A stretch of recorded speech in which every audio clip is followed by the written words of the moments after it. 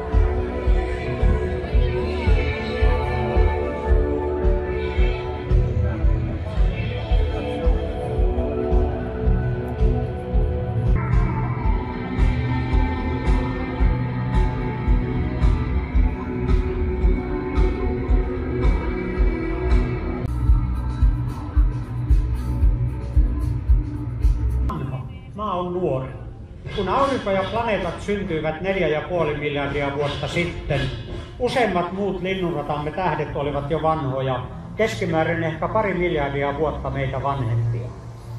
Kaksi miljardia vuotta sitten maapallon älykkäimmät olennot olivat niitä, joita söi tänäkin aamuna jukurttipurkistasi, bakteereja.